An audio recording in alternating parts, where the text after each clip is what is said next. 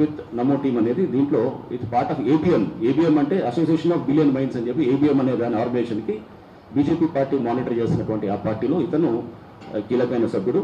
Warangal parliamentary కాన్స్టిట్యున్సీలో ఇతను బాధ్యతలు నిర్వహిస్తున్నాడు. నమో టీంలో ఉంటూ ఇతను బాధ్యతలు నిర్వహిస్తున్నాడు. సో అది ఉన్నటువంటి ఇది. సో ఇతను అంటే ఈ పేపరు అనేది మీరు చూస్తే కనుక ఆ పిల్లలు ఫొటోస్. ఇంకోటి ఇంకా ముఖ్యమైన విషయం ఏంటంటే పేపరు నిన్న ఒక్క హిందీ పేపరే కాదు మొన్నటి తెలుగు పేపర్ బిగ్ పేపర్ కూడా బయటకు వస్తుంది అనమాట బిగ్ పేపర్ కూడా బయటకు వస్తుంది. బిగ్ పేపర్ కూడా ఈ పిల్లగాడే. ఎవడైతే ఉన్నాడో ఇతను మనకి శివాజీ ఉన్నాడో ఆ పిల్లగాడు వెళ్ళి తీసుకొస్తాడు. తెచ్చిన తర్వాత మనం జనరల్గా చూస్తుంటాం రిమోట్ ప్లేసెస్లో చాలా చోట్ల పేపర్లు బయటకు వస్తుంటాయి చిన్న చిట్టీలు పంపిస్తుంటారు అది ఎగ్జామ్ కాపీయింగ్ జరుగుతుంటుంది ఇది జరుగుతుంటుంది. ఇది జరుగుతున్న క్రమంలోనే ఇలా జరుగుతుంది అనే దాని గురించి కూడా వీళ్ళకి అక్కడ అది ఎందుకు పేపర్లన్నీ కమలాపూర్ నుంచి కేంద్రం ఎందుకు లీక్ లీక్ అవుతున్నాయి?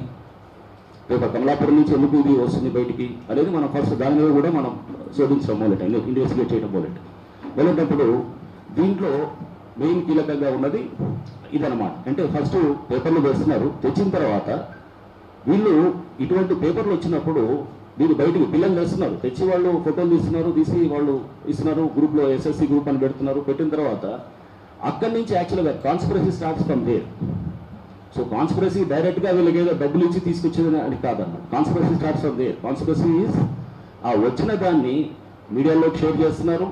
మీడియాలో షేర్ చేసిన తర్వాత ఇదంతా this is part of a game plan ముందుగానే మాట్లాడుకొని డైరెక్షన్లో జరుగుతున్నటువంటిది గేమ్ ప్లాన్లో భాగంగా జరుగుతుంది. సో చేస్తూ అది ఎందుకంటే ముందు రోజు ఉన్నటువంటి మీకు చూపించాను చాట్ చూపించాను. ముందు రోజు ఉన్నటువంటి ఫోన్ కాల్స్ ఉన్నాయి. ముందు రోజు వేరే వాళ్ళు ఎవరితో ఫోన్ కాల్స్ లేవు. ఈట రాజేంద్ర గారితో ఫోన్ కాల్ ఏం లేవు ముందు రోజు. ఆ ముందు రోజు వీరితో ఉన్నది సంజయ్ గారితో ఉన్నది. So this is part of ఒక స్ట్రాటజికల్గా పేపర్ ఇక్కడ వస్తుంటుంది. ఇది చాలా మీరు ఇంటీరియర్ సెంటర్స్లో చాలా చోట్ల బయటకు పేపర్లు వస్తుంటాయి ఇంటీరియర్ ఉన్నట్టు ప్లేసెస్లో వచ్చిన తర్వాత ఆ పేపర్ బయటకు వచ్చి దాన్ని జనరల్గా అక్కడికక్కడ లిమిట్ చేస్తారు. కాపింగ్ ఉంటే బహుశా ఉంటే కనుక అక్కడికక్కడ లిమిట్ చేస్తారు. చిట్లు పోతుంటాయి కిటికీల నుంచి చిట్లను తీస్తుంటారు గోడ పక్క నుంచి చేస్తుంటారు అది అక్కడికక్కడ లిమిట్ చేస్తారు. దీన్ని విస్తృతంగా తీసుకుని వెళ్ళి లీకేజ్ అనేటటువంటిది ఒకటి తీసుకురావాలనే దీంతో కూడా జరిగినటువంటి గేమ్ ప్లాన్గా మా ఇన్వెస్టిగేషన్లో వస్తున్నది. సో యాక్చువల్గా బండి సంజయ్ గారు ఫోన్ ఉంటే మనకు ఇంకా చాలా విషయాలు వచ్చేది బట్ అఫ్ కోర్స్ అది మేము ట్రై చేస్తాం. ఫోన్ నుంచి కాకుండా వేరే డేటాస్ నుంచి కూడా తీసుకోవడానికి నెక్స్ట్ ఇంతే కాకుండా చూస్తే కనుక అంటే ఆ తర్వాత కాన్స్పరసీ ఉంది. దాన్ని అంతా కూడా మొత్తం ఏది టోటల్గా వైరల్ చేస్తారు మీడియాలో.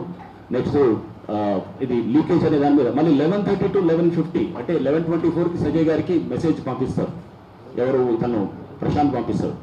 పంపించిన తర్వాత eleven thirty to eleven fifty there was video briefing by Bandi Sanjay garu నిన్న. ఉండింది దాంట్లో ప్రధానంగా లీకేజ్ మీద మాట్లాడటం జరుగుతుంది. అదే నేను ఇప్పుడు మీకు చూపించినటువంటిది తెలంగాణలో లీకేజ్ జాతర అని చెప్పేసి. సో అంటే ఇట్ ఈస్ ఏదో ఐసోలేటెడ్గా ఏదో జరుగుతుంది కాదు. ఇట్స్ పార్ట్ ఆఫ్ ఏ ఒక గేమ్ ప్లాన్గా జరుగుతున్నట్టుగా మాకు ఇన్వెస్టిగేషన్లో డెవలప్ అయినటువంటి అంశం అన్నమాట. నెక్స్ట్ దీంట్లో ఇంకా ఇదే కాకుండా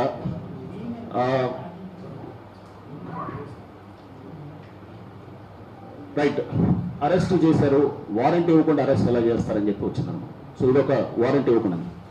So first of all preventive arrest Karimnagar police వారు అక్కడ కరీంనగర్లో చేశారు. ప్రివెంటివ్ కస్టడీలో తీసుకున్నారు. ఎందుకంటే అక్కడ సిద్దిపేటలో ఇట్లా ఏదో అక్కడ కొంత పేరెంట్స్ ఏదో కొంతమంది వచ్చినారు కొంత డిస్టర్బెన్స్ అవుతుందని చెప్పి అట్లానే ఇక్కడ కొంత డిస్టర్బెన్స్ అవుతుంది దాంతో వాళ్ళు అక్కడ లా అండ్ ఆర్డర్కి ఏమైనా విఘాతం కలిగించొచ్చని చెప్పి ప్రివెంటివ్ కస్టడీ తీసుకున్నారు. తీసుకొచ్చిన తర్వాత బొమ్మల రామారాం అక్కడ అంటే లా అండ్ ఆర్డర్ ప్రాబ్లం ఉంది కాబట్టి ఇక్కడ ఉంటే కనుక అనేది బొమ్మల రామారాం షిఫ్ట్ చేశారు. అక్కడి నుంచి తర్వాత వాళ్ళు మా కేసు ఉంది కాబట్టి మా కేసులో మేము కస్టడీలో తీసుకున్నాం రిమాండ్ చేస్తాం సో దీంట్లో ఇప్పుడు జరిగినప్పుడు వారెంట్ లేకుండా ఎలా